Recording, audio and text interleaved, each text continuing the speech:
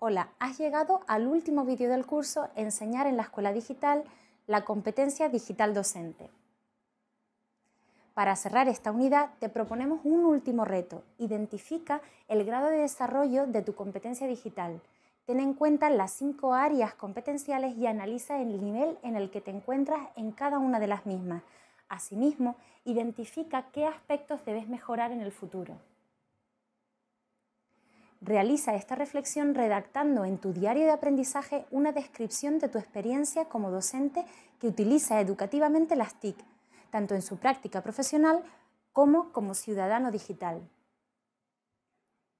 Para terminar, nos gustaría invitarte a que te registres en la plataforma del portfolio que hemos presentado anteriormente y comiences a cumplimentar tu perfil con aquellos méritos y experiencias que creas que deban formar parte de tu portfolio.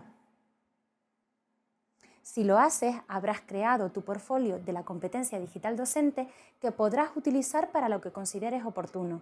Este portfolio lo puedes seguir complementando a medida que vayas superando los hitos o realizando experiencias en tu práctica docente que puedas añadir. Si te animas, no olvides compartirlo en las redes sociales y en tu diario de aprendizaje.